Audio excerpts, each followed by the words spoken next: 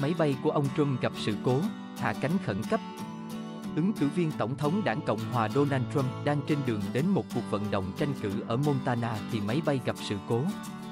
Chiếc Boeing 757 của cựu Tổng thống Mỹ Donald Trump, được gọi là Trung Foxer One, phải chuyển hướng do sự cố kỹ thuật khi đang trên đường đến một cuộc vận động tranh cử ở bang Montana. Các nhân viên xác nhận rằng máy bay đã hạ cánh khẩn cấp tại thành phố Billings, cách nơi tổ chức sự kiện vận động tranh cử là thành phố Bojem khoảng 225 km. Các quan chức sân bay cho biết, máy bay của ông Trump gặp sự cố kỹ thuật và phải chuyển hướng đến sân bay Billings Logan. Từ đây ông ấy sẽ tiếp tục đến Bojem bằng máy bay riêng. Trong khi đó, nhóm phụ trách chiến dịch tranh cử của ông Trump đăng tải một đoạn video khi ông xuống máy bay. Cựu Tổng thống Mỹ tỏ ra không hề nao núng. Tôi vừa hạ cánh ở một nơi thực sự tuyệt đẹp, Montana, trung nói. Ông Trump cũng nhấn mạnh rằng ông được đánh giá rất cao ở tiểu bang này.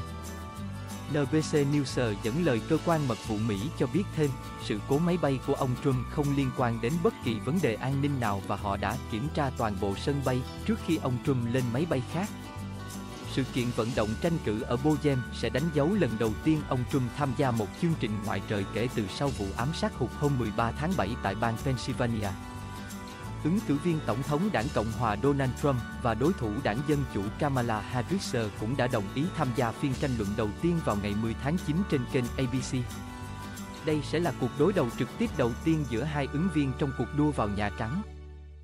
Một cuộc thăm dò của Ipsos công bố hôm 8 tháng 8 cho thấy bà Harris đã nới rộng khoảng cách dẫn trước ông Trump với tỷ lệ 42%, 37% so với tỷ lệ 37%, 34% hồi cuối tháng 7. Bước tiến nhanh chóng của bà Harris khiến nhóm của ông Trump phải vội vã điều chỉnh lại chiến lược và thông điệp tranh cử.